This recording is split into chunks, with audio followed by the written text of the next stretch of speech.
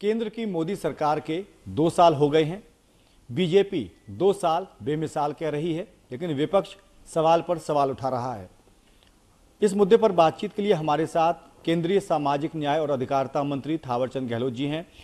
थावर जी, सबसे पहले तो बधाई सरकार ने दो साल पूरे किए।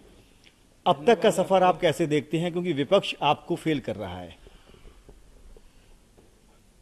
दो साल वास्तव में बेमिसाल उपलब्धियों से भरे हैं।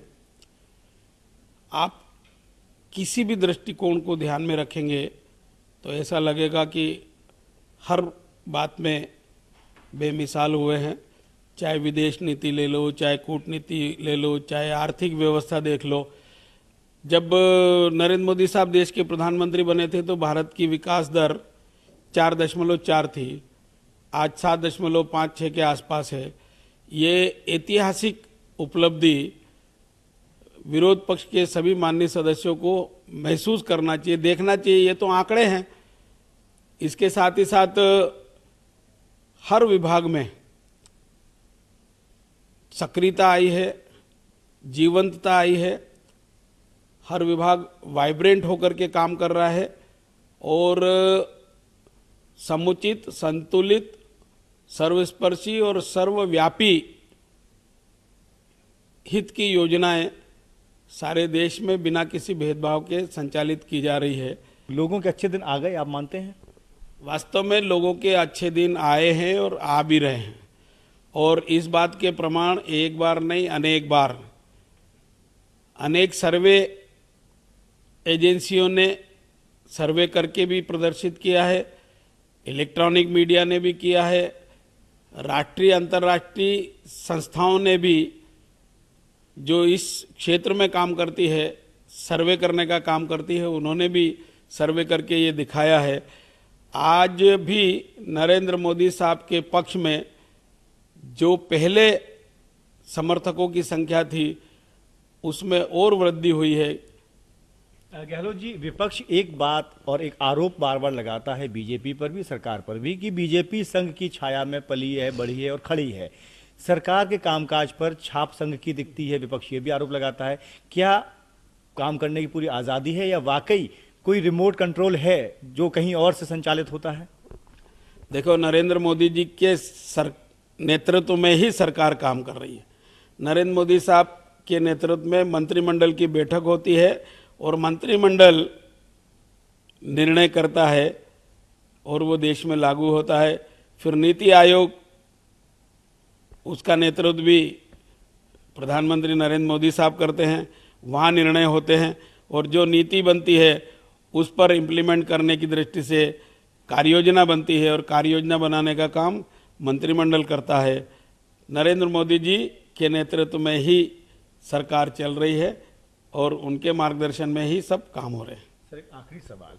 यूपीए सरकार देश ने और आपने 10 साल जनता ने भी देखा उसका कामकाज। यूपीए सरकार से आपकी सरकार किस तरह अलग है? देखो यूपीए सरकार में जो प्रधानमंत्री होते थे उनसे जब आप लोग बात करते थे तो आपकी बात का जवाब वो शायद ऐसा देते थे कि मैं मजबूर हूँ। मैं आपकी बात का जवाब देने में असमर्थ हूँ। मैं कुछ कह नहीं सकता हूँ। इस प्रकार की मनस्थिति उनकी बना दी गई थी। अर्थात वो स्वतंत्र रूप से काम नहीं कर पाते थे, उनके मंत्रिमंडल के साथ विचार विमर्श करके निर्णय करना चाहिए थे, वो नहीं कर पाते थे। एक परिवार विशेष की सलाह पर वो चलते थे, ऐसी आम धारणा थी।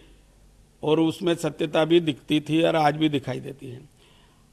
एक काउंसिल बना दी थी, सलाहकार परिषद के नाम से राष्ट्रीय सलाहकार परिषद, और वो सलाह देते थे, उसी के आधार पर उनको काम करना पड़ता था।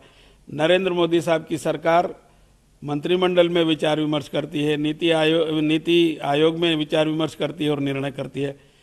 नरेंद्र मोदी साहब के कार्यकाल में मैंने बताया कि आर्थिक विकास दर चार दशमलव चार की बजाय सात दशमलव पाँच पहुँची है। अटल जी की सरकार 2004 तक थी और यूपीए की सरकार बनी, नरेंद्र मोदी साहब ने जो सात दशमलव पाँच तक विकास दर लाई है, अटल जी के टाइम पर ये विकास दर आठ दशमलव चार थी। और जब अटल जी हटे थे तो आठ दशमलव चार पर छोड़ा था। आप आठ जुलाई 2004 का बजट भाषण सुनेंगे यूपीए सरकार का तो उसमें सब उल्लेख किया था उन्होंने। अब अटल जी चार दशमलव चार की विकास दर छोड़ के गए थे। इन्होंने वादा किया था कि हम उसको नौ प्रतिशत तक पहुंचाएँगे। दस साल में ये एक परसेंट भी नहीं बढ़ पाए। आठ परसेंट भी मेंटेन नहीं कर पाए। सात भी नहीं रही छः भी नहीं रही।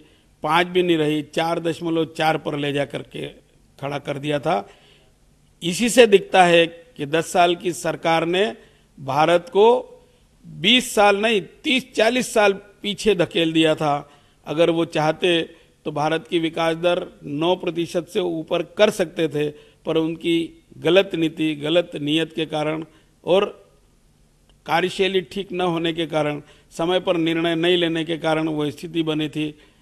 आज भारत की विकास दर ने चीन को भी पीछे छोड़ दिया। इतना अच्छा और इतना बड़ा उदाहरण आपके सामने है, उससे सिद्ध होता है कि यूपीए सरकार फेल्योर सरकार थी, नरेंद्र मोदी जी की सरकार विकासशील सरकार है, हर क्षेत्र में उन्होंने अच्छे काम किए हैं और मैंने कुछ आंकड़े देकर के आपके सामने जानकारी दी है। बहुत बहुत शुक्रिया गहलोत जी आपका और आने वाले दिनों के लिए शुभकामनाएँ भी। तो ये थे थावरचंद गहलोत, केंद्रीय सामाजिक और न्याय अधिकारिता मंत्रालय की ज़िम्मेदारी इनके पास है। इन्होंने अपने मंत्रालय के कामकाज का ब्यौरा विस्तार से रखा इंटरव्यू में और साथ ही साथ ये बताया कि किस तरह केंद्र की मोदी सरकार काम कर रही है, पारदर्शिता किस तरह की है। साथ ही साथ उन्होंने ये दावा किया कि लोगों के अच्छे दिन आ गए, आने वाले दिनों में वो अच्छे दिन और ज़्यादा अच्छे होंगे। कैमरामैन अश्नील ठाकुर के साथ Raghvendra Dwivedi, news world India, Delhi.